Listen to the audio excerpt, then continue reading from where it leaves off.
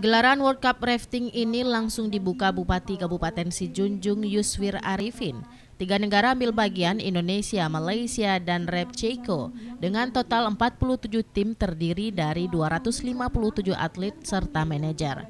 Sepuluh provinsi yang turut ambil bagian yaitu Sumatera Barat, Jambi, Sumatera Utara, Sumatera Selatan, Lampung, DKI Jakarta, Jawa Tengah, Jawa Timur, Kalimantan Timur, dan Sulawesi Selatan. World Cup Rafting dimulai digelar dari tanggal 10 sampai tanggal 14 November di Sungai Batang, Kuantan, Sijunjung.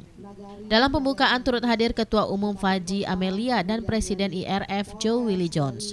Kegiatan ini merupakan salah satu kalender kegiatan International Rafting Federation.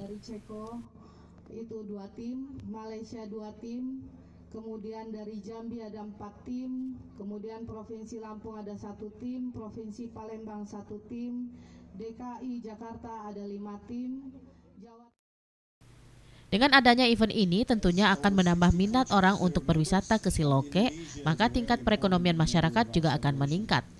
Siloke Geofest Rafting World Cup bukan hanya sekedar event semata, akan tetapi menjadi tempat pembelajaran adat serta belajar bagaimana mempertahankan alam. Tim Liputan iNews melaporkan. Kebersamaan, ya dengan itu sukses ini adalah kesuksesan kebersamaan. Kami terima kasih banyak kepada seluruh media massa dicetak, termasuk juga dari Federasi Internasional yang sudah hadir pada acara pembukaan ini. Ini harapan kita karena yang pertama tentu kita berharap sukses, lancar sesuai dengan rencana. Ini sedang dalam kondisi